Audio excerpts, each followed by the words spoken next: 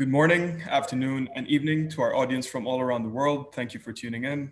I'd like to kick off our fourth session of the Sharjah RTI Park Industry Lab focusing on transport and logistics.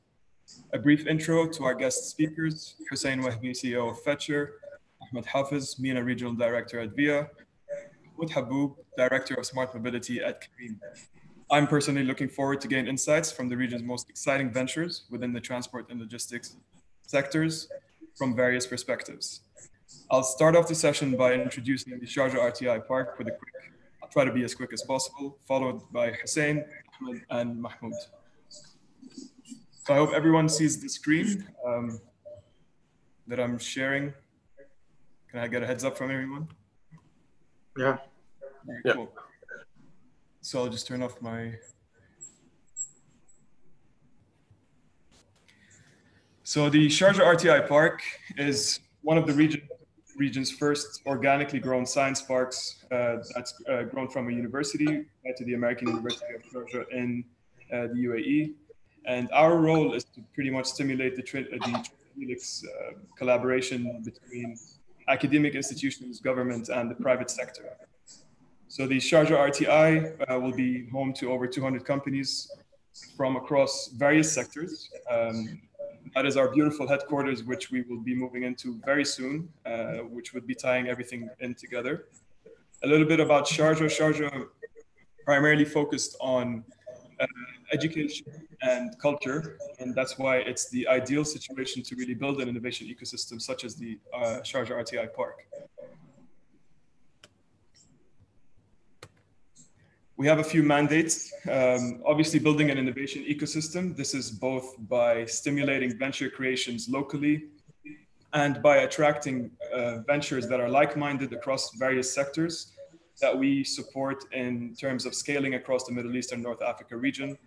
And naturally, generating employment and catalyzing towards a knowledge economy, supporting the UAE uh, strategy to, to diversify the uh, economy and obviously invest for the future for the past four years, we have been building relations with international ecosystems, various science parks, research institutes, different innovation uh, zones, and academic institutes, all purely to, to, to, to support our ecosystem locally. Uh, we support all our companies to, to not only on the local scale, but also on a regional and international scale by building these type of innovation tunnels. We focus on six sectors, in addition to healthcare and biotech. Um, everything that falls under the circular economy, food security, uh, smart mobility, and industrial uh, 4.0 to really foster innovation within these uh, industries. I will go through a few of our snapshots. currently, we have about over 50 companies in the park, um, and this we've achieved over the past year and a half. and we're very proud of every one of these partners that joined. Merlin Sustainable Technologies, they are in uh, renewable and agri-tech. We've got uh, Spanish Virtue, uh, Virtue, uh, Virtue E, which is a emotional artificial intelligence uh, dealing for uh, PTSD, autism, and, and, and, the likes.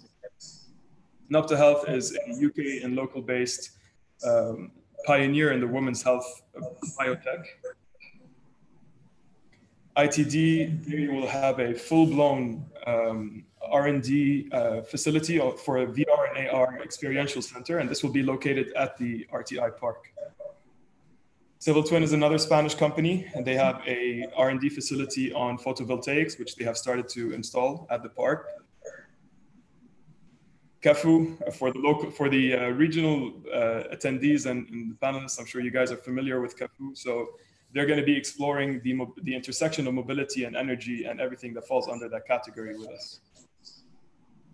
To get there, also started their pilots last year, and they're coming back for a second round on the uh, autonomous electric vehicles also being tested at the park. So uh, we're a big advocate as a test bed for, for anything disruptive, which needs, let's say, the support uh, to access potential stakeholders from academics and such. And this is what we support with.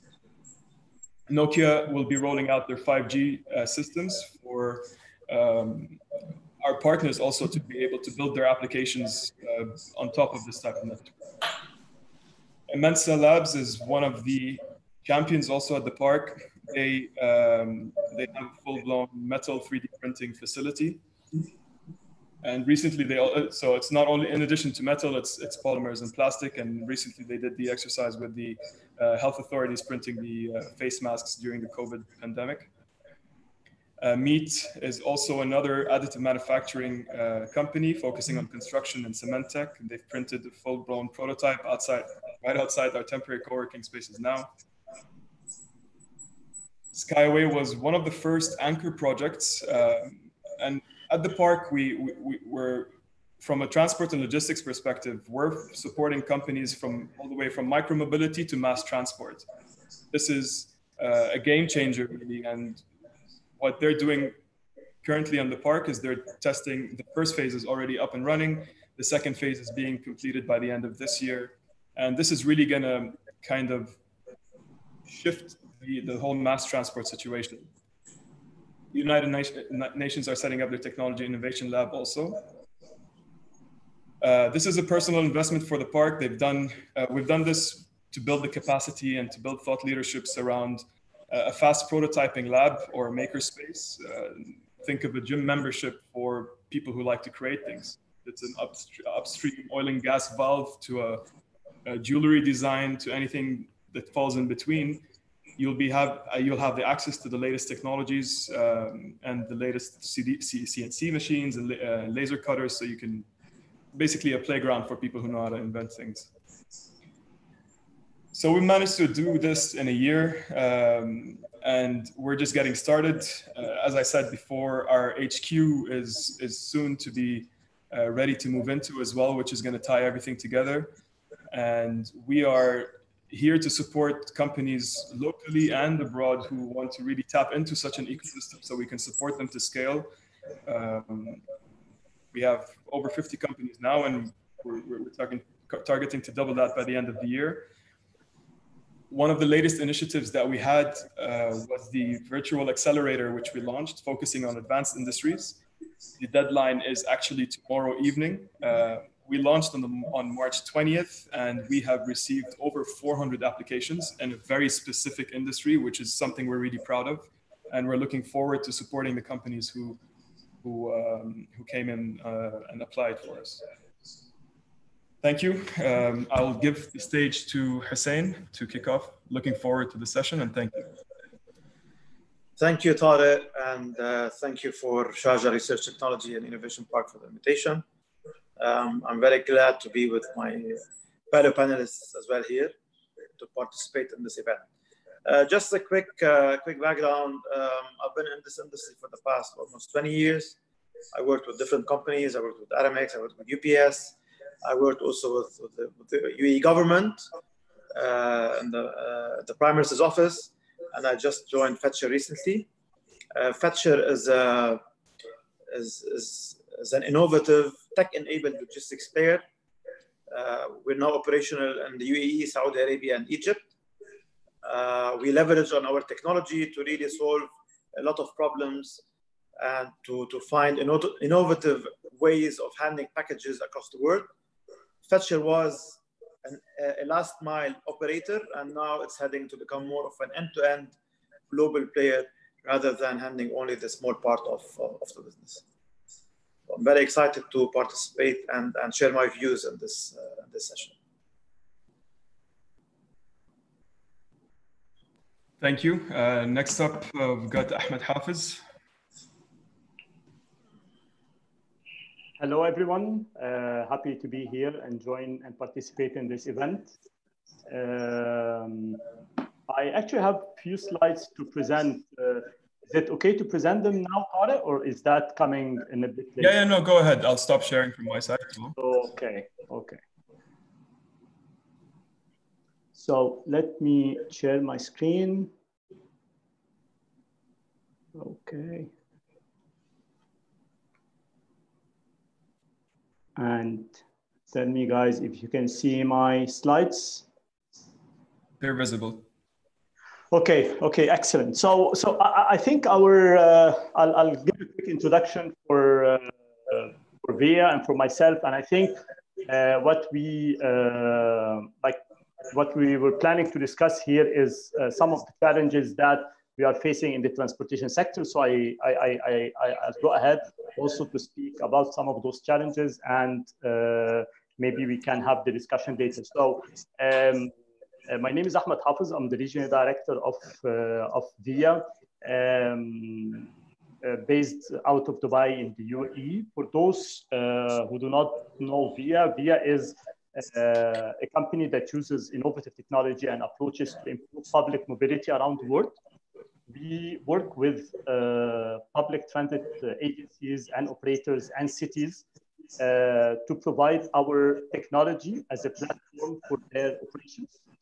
So uh, through these partnerships, our uh, partners will be able to um, to provide to their passengers on-demand uh, shared shared ride. And just to explain so just uh, uh, this, the map that you can see here, most of these uh, deployments are uh, deployments that are run by public transit agencies, by governments uh, in uh, several parts of the world, including some of the countries, as you can see in the Middle East, based on our technology. And just to explain, to show you where uh, exactly does on-demand sit in the transport uh, ecosystem. So uh, I'm sharing this diagram so that you can see uh, on, on, on the left-hand side, uh, you, uh, you can see the, the most convenient or the most passenger focused uh, type of transportation, which is like the private car, like ride hailing or a taxi that is focused on one or two passengers. It doesn't really care where other people are going. It's focused mainly on the passengers on board. And on the far right-hand side, you can see the rigid public transport system that we all know, whether the metro or the bus or um, uh, or any type of fixed route scheduled service. This is a system that is not flexible. You have to go to, uh, to the stop you have to go to the bus stop. You have to adapt to their uh, schedule. It does not adapt to you. And between those two extremes, there is a huge opportunity for what we call on-demand transit. And on-demand, because it's based on technology, obviously, it can adapt based on changing the parameters and the calibration. It can act more uh, convenience, to give more convenience and act somehow like ride hailing companies, or it can act more, it can be more efficient and act more like a fixed, uh, fixed route transportation. It really depends on, on the use case. However, the technology behind it, the algorithm, is basically uh, what, what it does is that it's matching people that are going on the same direction at the same time and assign them in the same vehicle in a way that is not affecting the individual rights for each, each passenger. So for example, you'll be sitting in a bus, but you feel that you're actually sitting in a taxi because it's taking you from where you are with other people who are going in your direction exactly, and you're not going out of your way. So that's basically uh, on the on demand. Uh, and here I can stop sharing my screen. Sorry, let me do that. Can you still see my screen or? Yes. Yes. Okay. Uh, yes, I can stop sharing my screen. Okay. Uh, a quick background uh, on myself. I'm actually, I graduated as an engineer from uh, the uh, uh, telecommunication and electronics faculty of engineering in Ain Shams University in, in Cairo. Uh, I've worked in several parts of the technologies. I've worked in telecommunication by, by nature. I worked with, with Google for five years. I worked with Honeywell. So I jumped from one uh, industry. I like to change industries and transportation has been my home for the last uh, four years. And I'm happy to be here in the event and join the discussion. Thank you very much, Ahmed. Uh, that was a great presentation. Um, Mahmoud, would you like to? Yes. Hello, everyone. Uh, my name is Mahmoud Haboob. I'm Director of Smart Mobility at Careem. Careem is the leading ride-hailing company in the region. Careem serves uh, uh, the region from Pakistan all the way to North Africa. We have uh, 1 million plus uh, captains on our network. Uh, we are also in the delivery business uh, and the payment business. And recently we got into micromobility. And this is an area I focus on. So my main focus on future modes of transportation, like uh, autonomy, electrification, and recently micromobility. And we just recently, beginning of this year, we launched in Dubai our bike share scheme uh, across Dubai, which been uh, well received by uh, the public uh, to address the, you know, the short trips uh, and first and last mile um, in Dubai. Thank you. Um, so the reason I personally reached out to each one of you is because I'm. Let me just turn off my turn on the video. Hello.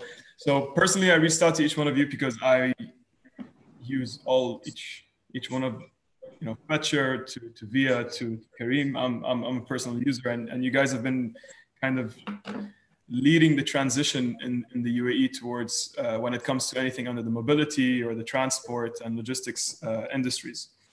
Um, I'm sure we've all been bombarded over the past couple of months in terms of how has COVID impact, how has COVID impact, but from a positive perspective, I'd like to know how has it changed for you guys in terms of what you're trying to achieve and what are your insights in terms of what's coming next? Um, I think in the same way you guys spoke. So Hussein, if you'd like to start off with this, please. Yeah, Tariq. Uh, I mean, COVID, uh, COVID was was a, maybe. I mean, it, it, was a negative thing on on the whole world. However, based on industry level, uh, COVID maybe have unleashed a bit of the real strength of uh, the the logistics players in, in, the market. It was the real differentiator that showed every single consumer and every single retailer and e-tailer, how well we are prepared based on technology, based on capacity, and how well maybe others may have not been yet prepared. I mean, it was a very good uh, um, wake-up call for everybody that you have to be always ready and, and having the right tech, the right capacity, the right business continuity plan, the BCP, to be able not to really allow any disruption in the delivery of goods, and especially when it comes to essentials we have seen a massive growth in the number of deliveries during COVID-19 because you know the malls closed, no more brick and mortar, everybody went online, and the orders were spiking like never before. The whole industry in the country and in the region have faced big challenges because the demand was, I mean, I can tell you tens of zeros, maybe more than what, what's there in terms of capacity. And if you bring all the capacity of all the courier companies in the region, it will never be enough maybe to cover even 50% of what was there. It was incredible. So the secret for us, I mean, we were able to navigate very safely here. And as I'm always saying in different webinars, first of all, our technology helped us a lot because our technology will allow always to block schedules and capacities for certain clients based on a pre, pre-agreed on plan. So we don't come to a client and tell them, give us 10,000 parcels today. We're gonna deliver these within the SLA 100%. We tell them our capacity is X number. This is what we can handle for you because we have to deliver within the SLA and we don't want any customers and citizens to suffer and struggle by waiting 10 and 15 days. So we were one of the companies who were, who were able to deliver within our SLAs, of course, not on 100% mark because nobody can get you 100%, but we were on the high 90s, the performance. And we were able to also regulate our capacity and handle based on uh, where, which areas there were less curfews, which areas we were able to operate. So we take as much, or we bite as much as we can digest, as, as I say. This was, this was really for me a very good story that I would like to tell everybody because the team was extremely resilient, extremely professional. They were the clients day and night, planning and trying as much as we can to reduce the stress on the people who are sitting at home and waiting for their parcel. Because when you cannot go and to the mall and get your parcel immediately or your whatever you buy, you don't need to wait for 10 15 days. I mean, in the industry, I have never seen in my life a two weeks delivery window. Never. So uh, for us, it was a great lesson. We tested our capabilities, we tested our technology, we tested ourselves, And I think moving forward, this spike and this e-commerce boom is here to stay and to stay forever. So are we ready? I can tell you very much ready. We just need to scale up our capacity, keep on developing our technology and move forward. Thank you. Thank you, Hussein. Um, Ahmed, your insights? Sure. Thank you, uh, Tariq. Uh, thank you, Hussein, for uh, this insightful um, uh, input. Uh, if, if, I can ask uh, the the participant to mute their phone so that to avoid having an echo for, for the rest of the participants. Um, unfortunately, the transportation industry was not as lucky as the parcel delivery industry. it's um, it, it's it's it's a tough place to be in working in mobility when you're asked to stay at home and not to go anywhere. So um, let me let me before before getting into how VIA uh, acted in the wake of uh, COVID-19, let's let me maybe just try to lay down the different challenges that we all faced and how this uh, translated into uh, transportation so that we can understand what type of challenges we're facing and what type of trends we, we, we are likely to see in the future. So, so from, from a social aspect, as you know, we have been asked for a long period of time to stay at home, to uh, avoid uh, social interaction, to basically avoid any close proximity to other people. Uh, this has reflected into a 90% uh, drop in public transportation all over the world. Um, some services has been closed, complete shutdown, whether because of safety reason or because nobody is really using them. So it's, uh, it, it, makes sense to, to just shut down the services. And as a, as a future expectation, unfortunately, we expect that the ridership and the demand on transportation or public transportation will uh, continue uh, to, to be down, unfortunately. The fear and anxiety that has been created uh, in the past period will not go away just by deciding that we're going back to the road. And just to give you an example, uh, the New York City uh, uh, has reported that it took them more than three years after the September 11 to return to the ridership levels of the metro since after the attack. So, so it's not it's not about finding a vaccine or a treatment. This status that we're seeing is is here to stay. I totally agree with what Hussein is, is saying. This trend is probably irreversible. We're going to continue seeing this trend happening. From an economic perspective, of course, uh, we have seen jobs are being lost. Uh, the consumer discretionary spending went down uh, heavily. Uh, from the transportation point of view, we have seen government shutting down the services to try and be cost effective. And uh, finally, from a health perspective, we, we now have the healthcare workers are became a category considered at high risk because of, uh, of, of the high chance of contracting uh, the virus. Uh, and at the same time that we, we, we, we have a shutdown in public transportation, we need to provide these uh, essential workers, whether the healthcare workers or other type of frontliners, uh, a secure and safe way for transportation. So these are basically the, the challenges that uh, we're all facing, and this is how it's, uh, it's affecting or impact, this is the impact on transportation. Uh, from from VIA perspective, what we have done, being a technology company, uh, we were lucky to act fast. We have the ability to act fast. So we, we acted on two different levels. One is the immediate uh, impact, and another one is a longer term plan that we're working on it already. The immediate impact is that uh, we, we, have, we have identified, we have aligned our priority with these needs that we have seen. So the first thing that we thought of, all public transportation is closed. Nobody is, there are curfews around the streets who is going to support the essential workers to get to there they need to be, whether uh, nurses or doctors who need to be in hospitals or uh, food supply employees who need to be in the storage or in the areas where, where, where they work. So we introduced an idea of essential, uh, essential uh, workers uh, transportation, specialized transportation. And this is, so all over the world, we have repurposed our services uh, the on-demand services to mainly focus on hospitals, for example, or other essential workers. It depends on all city and what they decide to, uh, to cover. And uh, uh, so, so because it's all based on technology, we don't have like fixed bus stops. We, we can, it's all configurable. So we have created in a couple of days, repurposed the services in Berlin, in New York, in many of the cities that we have, uh, we operate to make it, to dedicate the service for essential workers. And here in, in our region, uh, we had an example in, in Abu Dhabi where uh, we created, uh, based on the requirement from the city of Abu Dhabi, uh, a dedicated service for healthcare workers that is now very popular and they wanted to stay. The, the Abu Dhabi, we were not operating in Abu Dhabi, so uh, it's, it was a new place for us.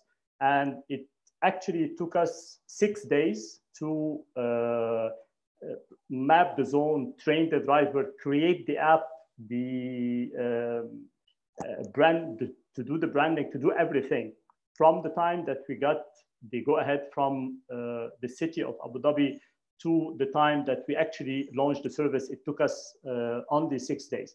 So that, that's, that's one thing that we have done. First, it helped our partners to keep their, their fleets moving. And it helped us also as a company to keep our operation moving. Uh, and as I said, there was a silver lining because this kind of service introduced new cities to us. So there were new cities. So the, the, existing cities where we worked, we have repurposed the service. But like the case in Abu Dhabi, for example, we have introduced new cities to our, to our system. The second thing that we have done as also Hussein mentioned, suddenly everybody is at home. Suddenly everybody is requesting, uh, asking for deliveries. The, uh, the, the, the, the, large stores that used to deliver in a couple of hours, it take them four or five days to deliver. So obviously there is a huge impact on the supply uh, used for uh, goods, uh, goods delivery.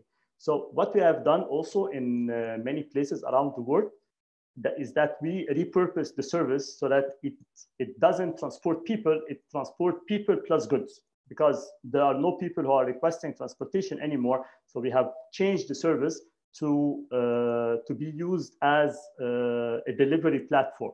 And we provided, so we help our, our partners to use their, the supply, the fleet that, that have been uh, dormant in order to, to, to, to use it in a productive way.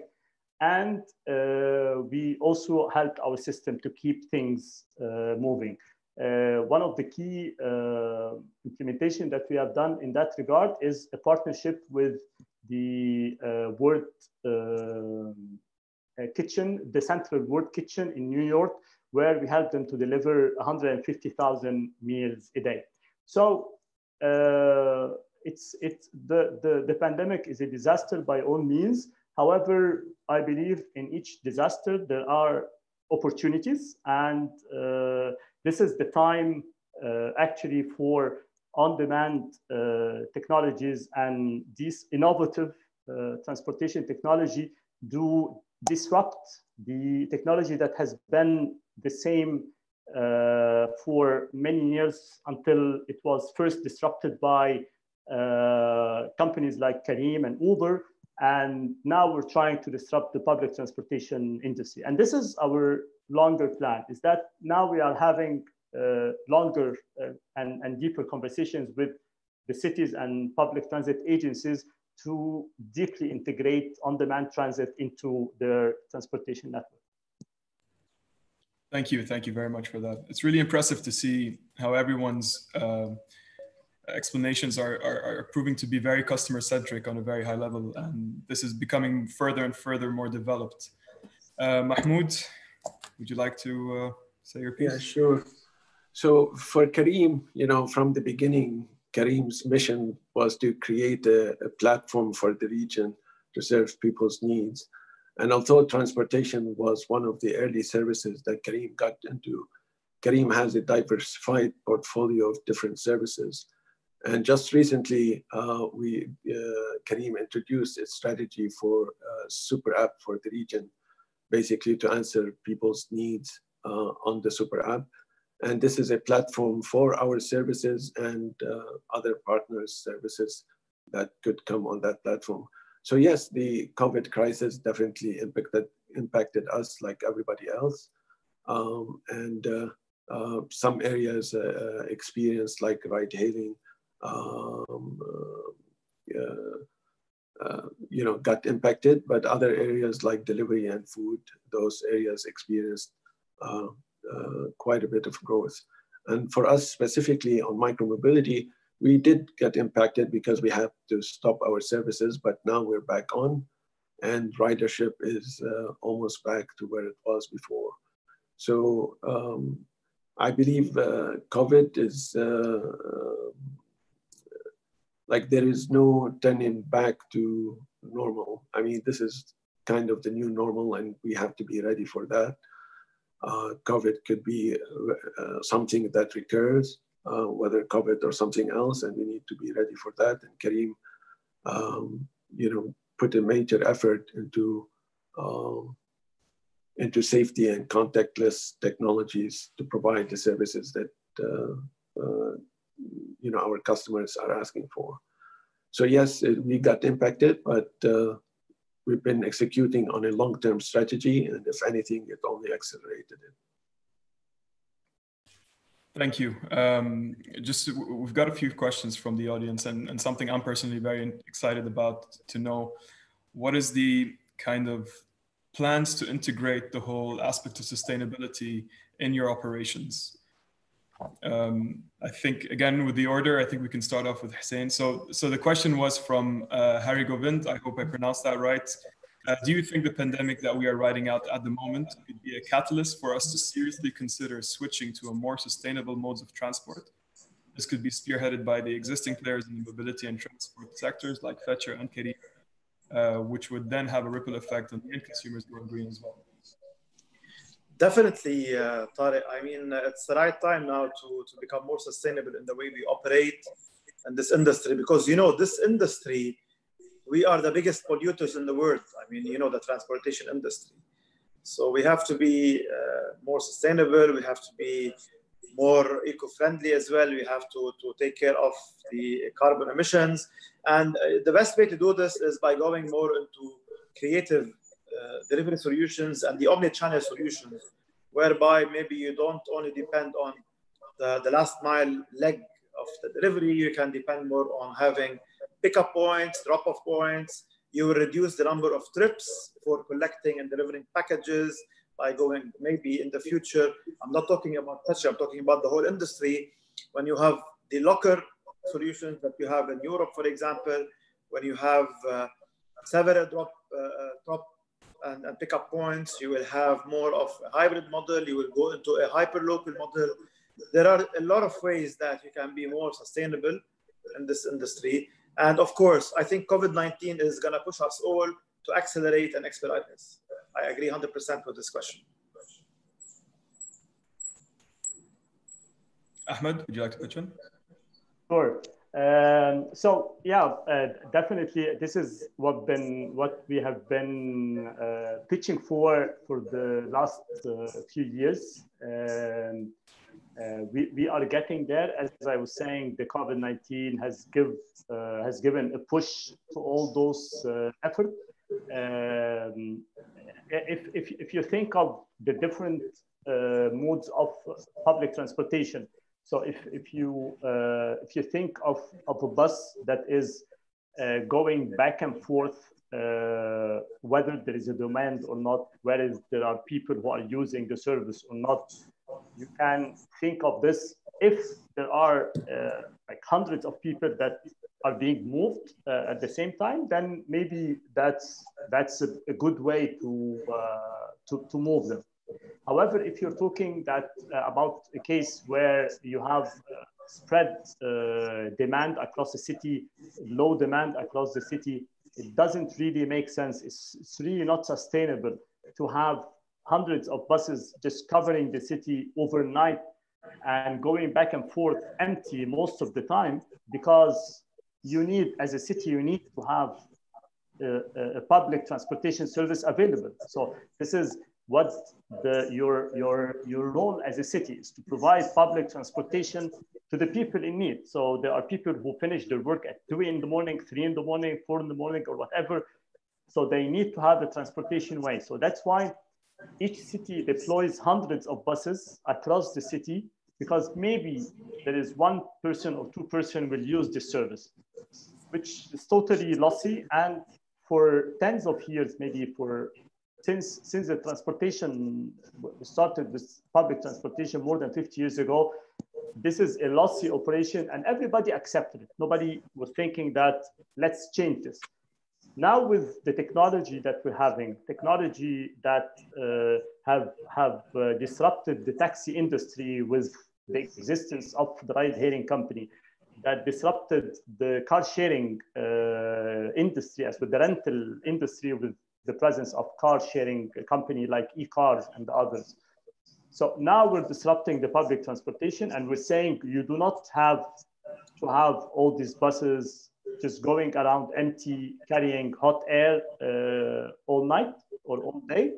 You can actually have smarter solution to operate this, uh, this fleet. And that's definitely much more sustainable than uh, what it used to be. The, the opportunity that we had due uh, because of uh, COVID-19 is that everybody is now looking into the budget, into how the money is being spent. And they are now under, everybody's under pressure to find a better way to spend the money, uh, a better way to do business. And that's definitely good for the future. Doesn't, didn't have to have a pandemic for us to, uh, to do that, but that's what happened. And hopefully we uh, get out with this with something positive. Completely agree. Thank you for that, Mahmoud. Yeah, so for us, you know, sustainability is a, is a very important aspect of the business because a sustainable fleet, a sustainable service is, is also uh, leads to a sustainable company. And if you look at our uh, fleet, um, you know, half of it on the ride-hailing side almost is now shifted to becoming hybrid, which, which means for a hybrid car now, consumes half of the uh, amount of gas that it was consuming before. And another like aspect of that is, you know, the introduction of micromobility. You know, the car is not the right answer for, like Ahmed said, for uh, every uh, trip uh, in, in, the case of bikes that we have in Dubai, the bikes are not just for leisure. We actually are seeing ridership moving from ride hailing into the bike. And so the, our bikes are e-bikes, electric bikes, very sustainable mode of transportation, and they do uh, satisfy people's needs. So I think this is a critical thing to, to invest in, and we are investing in, and we see that only accelerating because, like I said before, COVID is something that you know is not a one-time thing, and dealing with the issue of pollution uh, uh, will be critical for these kinds of things. So the more sustainable we are, environmentally sustainable, the better off we are, and we're pushing in that direction. Thank you. Um, we had two questions as well around um, the autonomous delivery. Um, maybe I can I can pitch in a little bit over here. I guess when it comes to the autonomous delivery, there's a lot of work that has to go around, especially in the collaboration between with the governments, because there's a lot of talks on infrastructure, uh, which isn't ready, readily available today. Uh, we are currently supporting a couple of our partners around drone deliveries, for example. Um, so when it comes to the next wave of disruptive tech, such as uh, autonomous deliveries, this is exactly what we're trying to foster here at the park. So please feel free to reach out to us at any time. Um, we have an open innovation type of culture, so we're always here to leverage our connections from private to public um, and anything in between with the academic as well. Uh, so we can support startups that want to grow, support ventures and SMEs to, to, to really uh, tap in and scale. Um, so from a Q&A perspective, I think uh, uh I covered this as much as I could. Uh, if there's any final points that you guys would like to pitch into, I think we can wrap up. Tariq, I can just add to this. It's a long way, really, to, to see the full adoption of autonomous exactly. deliveries and transportation. And the regulations will have to have a lot of. Uh, you need to update the regulations. You need to, to put new regulations which are not there now. You need to look into safety. You need to look into a lot of areas before really going and, and start having this solution as one of, of the really permanent solutions. I think it's a long way, but as long as you start testing now, even within the park's premises, it's very much worth to explore how this technology is going to evolve and disrupt the whole industry. It's a bit, it will take a bit of time, but definitely it's going to come. I mean, this is the future. And, and as we are used in the UAE, always the future is starts in the present before it comes later. Absolutely. Absolutely. Well, I guess uh, we can wrap up. yeah, I, I, can just add a quick a quick point uh, to that. Uh, I, I, think technology is uh, uh, giving a lot of momentum to all the changes to happen much faster. If you look at uh, from transportation point of view, you can see that it took us like thousands of years that we've been using horses to move around from one place to another. And then in the last hundred years, we've been using uh, the vehicle almost in the same way that, that we use it until recently when uh, the ride-hailing companies started to emerge, which changed the face of transportation uh, completely. Uh, just uh, in few years. So you can see that changes are happening uh, in much shorter time. Autonomous, when we talk about, now we have you can see autonomous, there are uh, autonomous on-demand vehicles that are running around. I wouldn't say it's the most efficient uh, way. Uh, it's more of a demo or piloting. Uh, we have uh, a pilot in, uh, in California where we have robo taxi. So we have taxis that are operating, going up to 90 kilometer per hour speed, which is one of the highest speeds in autonomous vehicles. Uh, it's not the most efficient way, but if you think a couple of years ago or three years ago, this is like science fiction. So I believe that the changes are happening and the technology is really uh, speeding up the changes to take much shorter time. Thank you. Thank you for that. Uh, I appreciate everyone's inputs and insights. Uh, enjoyed the conversation. Thank you for all the attendees. We had quite a healthy attendance today from literally all over the world. Um, we really appreciate everything that you guys are doing at Fetchr, at VIA, and hopefully we can uh, collaborate in the near future. Again, thank you for your time. Good luck with everything. Stay safe. Thank you, everyone. Thank, you. Thank you. Thank you very much. Thank you. Thank you, guys. Thank you. Bye.